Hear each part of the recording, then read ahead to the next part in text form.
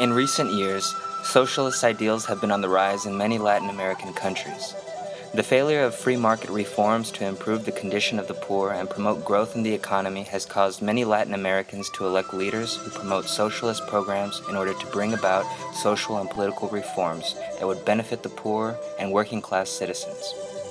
Since the election of Hugo Chavez in Venezuela in 1998, six more socialist presidents have risen to power through democratic means in South America. This trend is a stark contrast to the decades of right leaning regimes that dominated the continent's political makeup for decades. Chile and Bolivia provide perfect case studies for socialist reforms carried out through democratic means. Socialist leadership in the two nations came at distinct periods in history and occurred in nations with varying demographics, size, and economic and political histories. Even so, Similarities can be seen between the two instances of socialist governance, and these issues help clarify the roots of socialist movements in Latin America. This leads one to question of what factors contributed to the election of socialist governments in Chile in 1970 and Bolivia in 2005. Socialism is defined as a political and economic theory of social organization which advocates that the means of production, distribution, and exchange should be owned or regulated by the society as a whole. Socialism is a middle way between capitalism and communism, proposing that revolutionary social changes leading to equality and social justice can be achieved by peaceful constitutional means. Chilean socialist president Salvador Allende did not believe that to be a communist or a socialist was to be a totalitarian. He stated, I think socialism frees man. When asked how he would define socialism, Bolivia's socialist president Evo Morales stated, to live in community and equality. Fundamentally, in the peasant communities, they have socialism. It is an economic model based on solidarity, reciprocity, community, and consensus. Because for us, democracy is a consensus. Chile, a nation rich in natural resources, has struggled since its independence in 1818 to create a working economic and political system. Throughout the beginning of the 20th century, Chile was a country dominated by the oligarchic elite, who monopolized both the industrial and agricultural sectors. Beginning in the 1920s, Chile's leaders received loans from the United States and the International Monetary Fund under the condition that they would implement neoliberal policies. The United States placed economic and political pressures on Chile to allow private companies to gain control of industries, in particular, copper. In exchange for economic support, the IMF imposed the implementation of structural adjustment programs. These adjustments included trade liberalization, currency devaluation, the removal of state subsidies, the privatization of state owned enterprises, and the granting of favorable conditions to foreign investors. Government adherence to these policies, especially under the leadership of the presidents Alessandri and Frei in the 1950s and 1960s, caused cuts in social programs throughout the following decades, which led to further impoverishment of working class Chileans. In the years leading up to the 1970 election of Salvador Allende, 40% of Chileans suffered from malnutrition, 3% of the population received over 40% of the nation's income, and 50% of the working population earned only slightly more than 10% of the wealth. Agricultural workers suffered under large landholders who denied them basic rights and who reaped the benefit of the profits.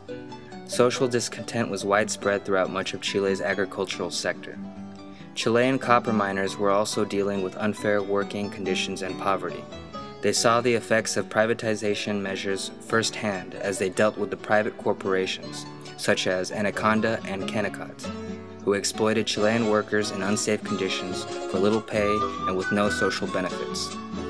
Rampant poverty and general discontent of the working poor of Chile led to support for the FRAP, or Front of Popular Action Party, an increase in unionization, and the beginning of social movements attempting to address injustices.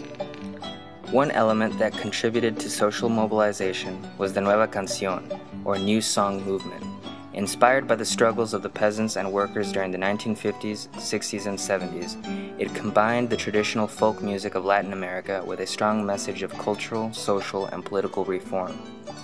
Its popularity helped spread awareness of the injustices perpetrated against the poor into the collective consciousness of the country. The Nueva Canción movement coincided with the growing trade union movement that had been slowly increasing in size and was beginning to connect with the university students. The supporters of the socialist candidate Salvador Allende wrote the lyrics of Nueva Canción songs on the walls of buildings across the country. In the presidential election of 1970, Salvador Allende represented La Unidad Popular, or Popular Unity Party, which succeeded the FRAP as the prominent left leaning political organization. The party was a coalition of socialists, union leaders, communists, radicals, and social democrats, all looking for an end to neoliberal policies. The Popular Unity Party pledged to nationalize industry and natural resources, abolish the literacy test for suffrage, guarantee the rights of workers to organize and strike, initiate administrative decentralization, draft a new constitution which would provide a unicameral legislature, democratize the armed forces, change divorce laws, and embark on an independent foreign policy with diplomatic recognition of all governments. After a runoff election, Allende was chosen by the people and was formally elected by Congress on October 24, 1970. Allende began his presidency by implementing what he called the Chilean path to socialism.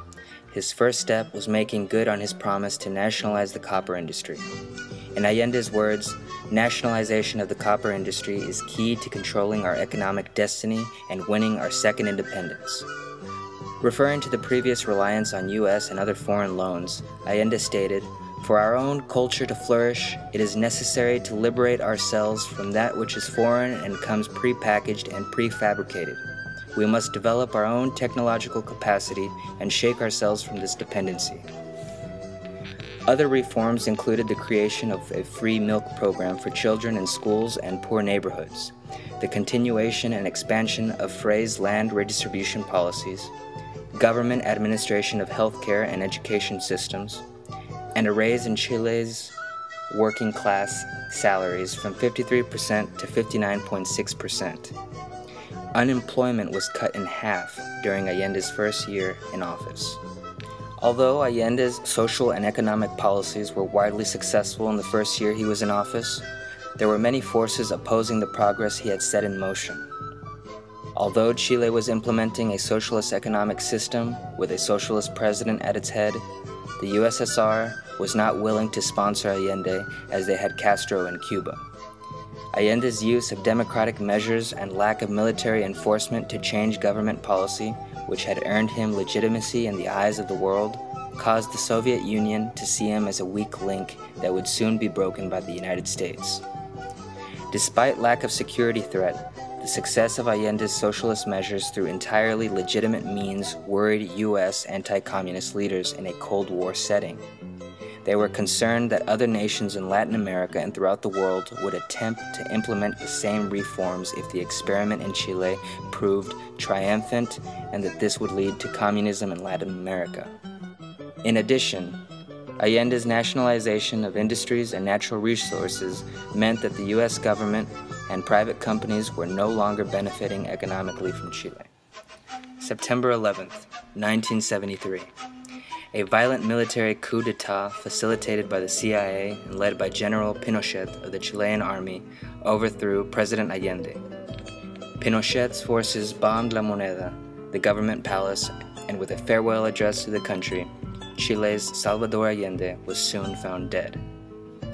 The CIA's covert operations to undermine Allende had set in motion on September 15, 1972, when Nixon ordered CIA Director Richard Helms to instigate a military coup in Chile that would prevent Allende from taking power or unseat him if he took office. In the meantime, Director Helms was instructed to make the Chilean economy scream. After taking power, Pinochet banned all political parties and reinstated former free market and neoliberal reforms. Immediate arrests were made of leftist leaders and those seemingly sympathetic to their cause. Thousands were taken to Santiago Stadium, where they were tortured, killed, and thrown into mass graves. A 2011 commission identified the total number of victims during the Pinochet's regime to be 40,018, including 3,065 killed. Pinochet would remain in power until international pressure brought about a referendum in 1988. In 1989, Patricio Aylwin became president in the first democratic election since the start of Pinochet's regime.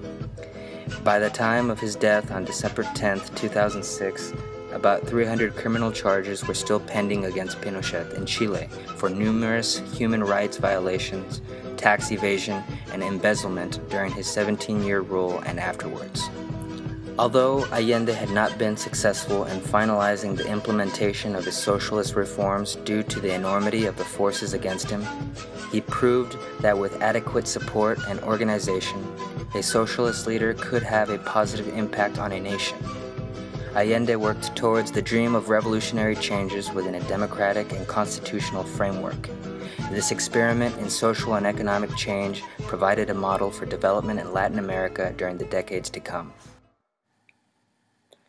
Bolivia, a nation with 80% of its citizens claiming some degree of indigenous heritage, was ruled by an elite class of European descent for five centuries.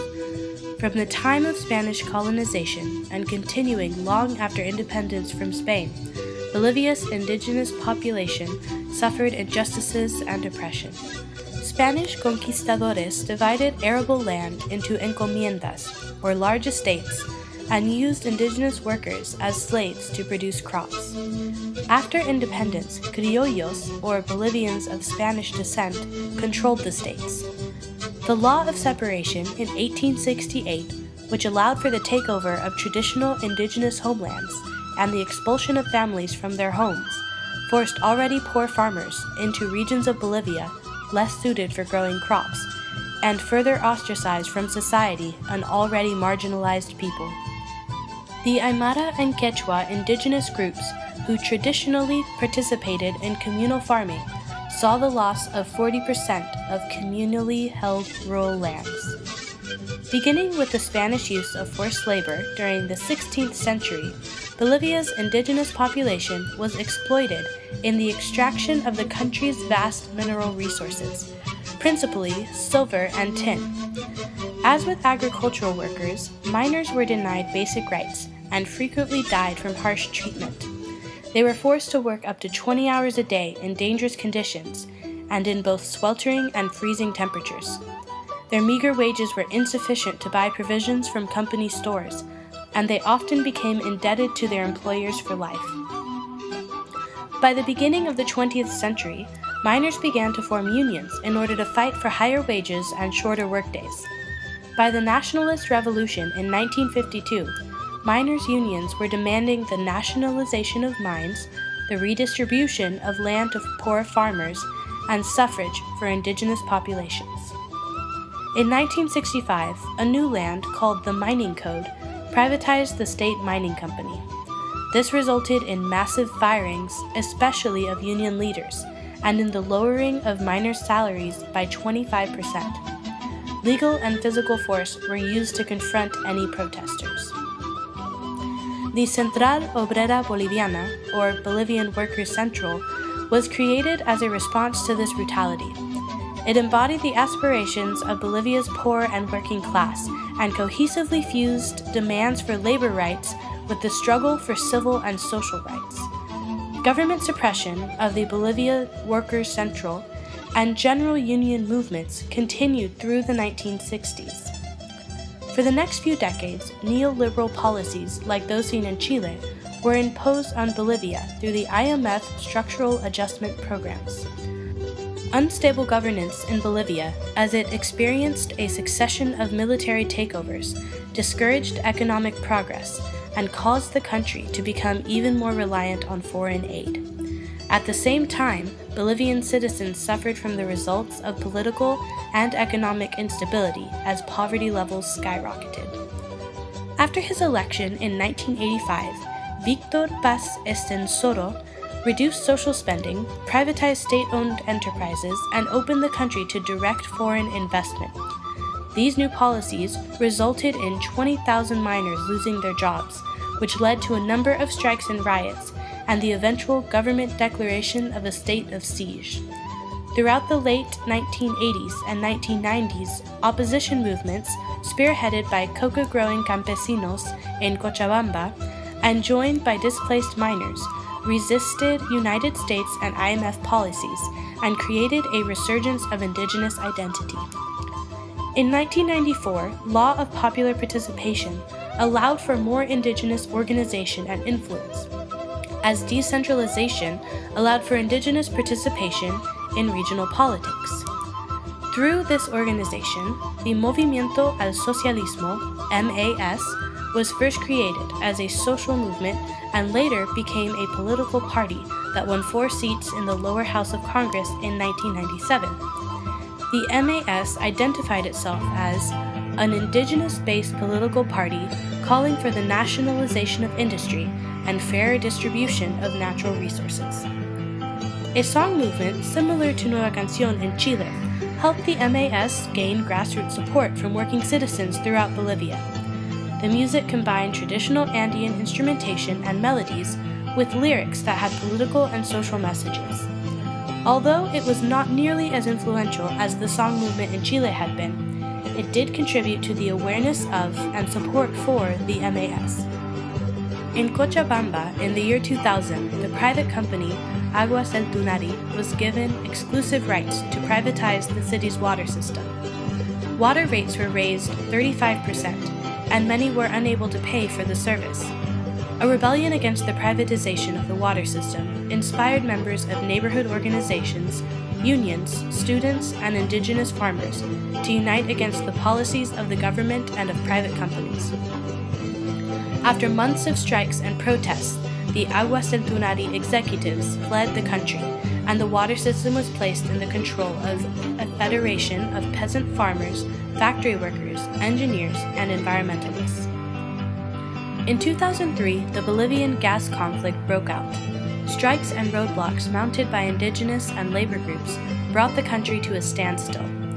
Violent suppression by the Bolivian armed forces left some 60 people dead on October 2003, mostly inhabitants of the region El Alto, located on the Altiplano above the capital city, La Paz. On October 17, 2003, Evo Morales' support from Cochabamba tried to march into Santa Cruz de la Sierra, the largest city of the eastern lowlands, where support was strong for the president. They returned back. Faced with the option of resigning or more bloodshed, President Sanchez de Lozada offered his resignation in a letter to an emergency session of Congress. After his resignation was accepted and his vice president, Carlos Mesa, invested, he left on a commercially scheduled flight for the United States. Evo Morales, a former union leader who represented coca growers, won the presidential election of 2005 with an absolute majority of 54% of the vote and became Bolivia's first indigenous president. As leader of the MAS, he ran on a platform of reducing poverty among the country's indigenous population, erasing restrictions on coca farmers, renationalizing the country's energy sector, fighting corruption, and increasing taxes on the wealthy. Morales also promised to rewrite the Bolivian constitution in a way that would increase the rights of the country's indigenous population. During his first term, President Morales followed through on his campaign promises. Despite constant obstruction by the opposing parties, he nationalized Bolivia's gas fields and oil industry and signed into law a land reform bill that called for the redistribution of unproductive land to the poor. Welfare, nutrition, healthcare, and education programs were put in place. The new constitution was approved by voters in 2009.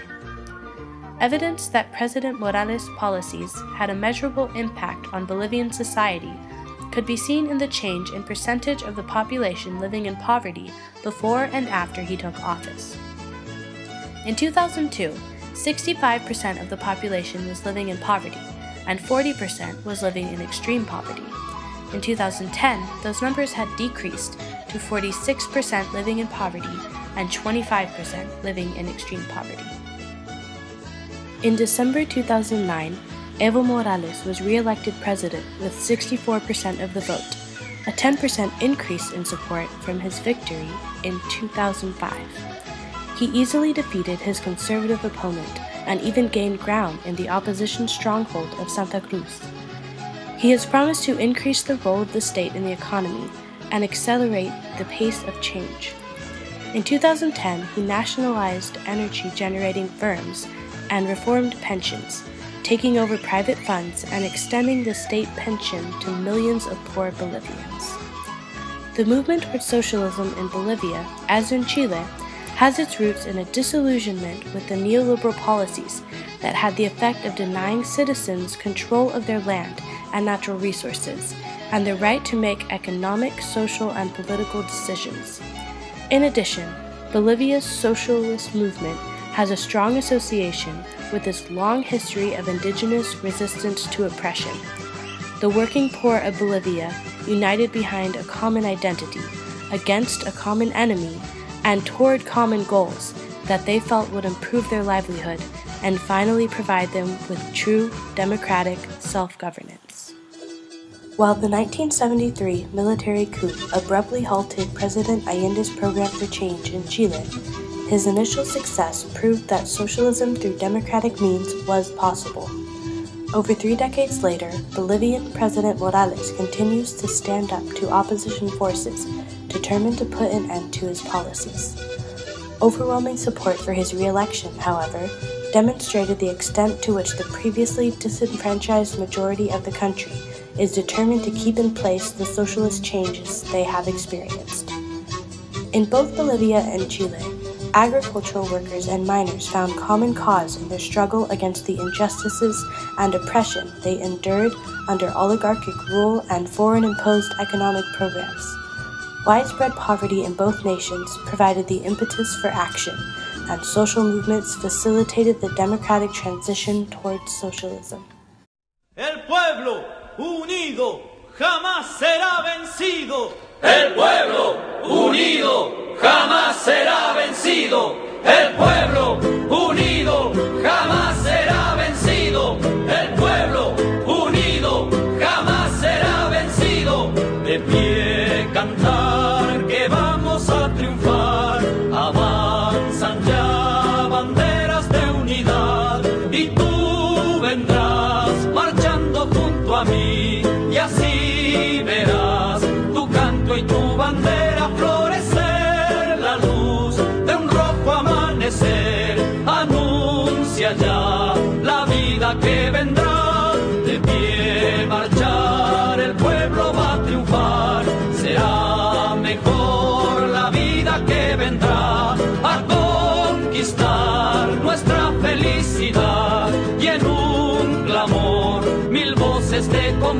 se alzarán dirán canción de libertad con decisión la patria vencerá